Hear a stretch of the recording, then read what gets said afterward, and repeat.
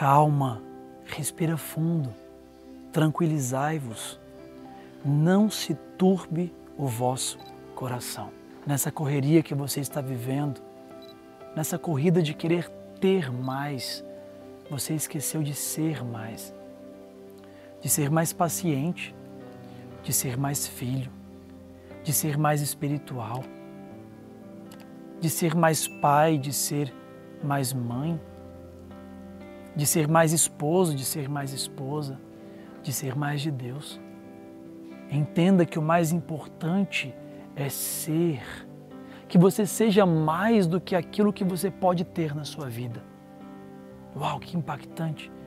Que você seja mais do que você pode ter na sua vida.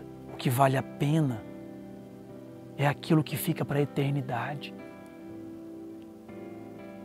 Eu vejo as pessoas tão preocupadas em ter, em construir, e estão tão pouco preocupadas em ser. Seja o melhor pai, seja o melhor esposo, seja um filho de Deus. Olhe para as coisas que Deus te presenteou, a criação que Deus fez para te abençoar. Para que correr tanto para alcançar coisas que você talvez nunca vai ter ou que o outro tem? Para que sofrer porque você não tem algo que o outro tem? Para que correr tanto e deixar de olhar para dentro de você? Olhe mais para a natureza, olhe mais para a sua saúde, olhe mais para o seu corpo, para os seus olhos.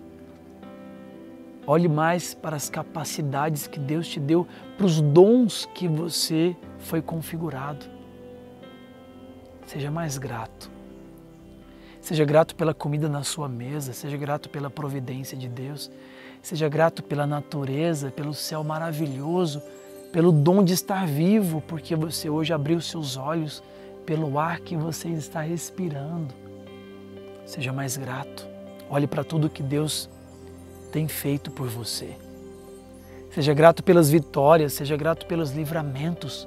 Nós corremos um sério risco de correr demais, de trabalhar demais, de lutar demais por coisas que vão passar. E aí a gente não vai viver coisas tão maravilhosas que estão acontecendo agora. É o sorriso dos seus filhos, é uma comida deliciosa na sua mesa, é o ar que você está respirando, é a bênção que Deus te deu de ter uma família.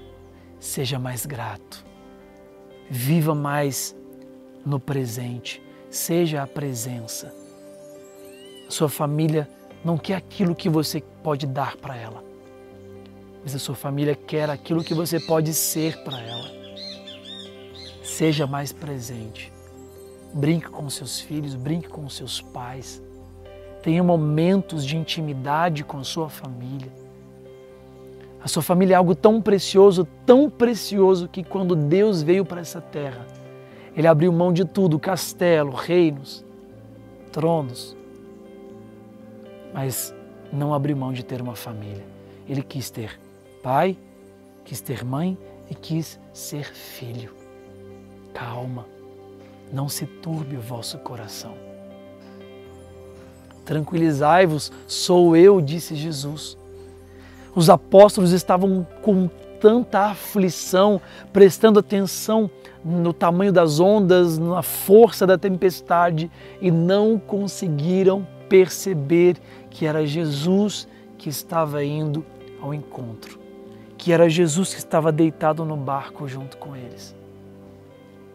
Calma, não se turbe o vosso coração.